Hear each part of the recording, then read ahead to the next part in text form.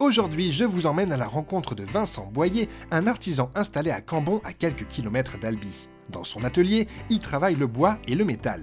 Euh, mon entreprise s'appelle Copoloco et je propose la fabrication de petits objets comme euh, des planches à découper ou des lampes, mais aussi euh, des constructions un peu plus conséquentes comme des meubles, des commodes, des tables ou des bibliothèques, le plus souvent sur mesure, que ce soit pour des particuliers ou des professionnels.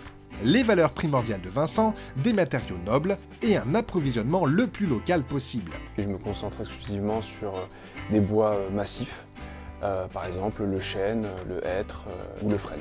Ma démarche locale consiste à choisir euh, des, bois qui vont être euh, français et pour le métal, euh, je vais me fournir quasi exclusivement autour du bassin sidérurgique de Saint-Juéry, juste à côté.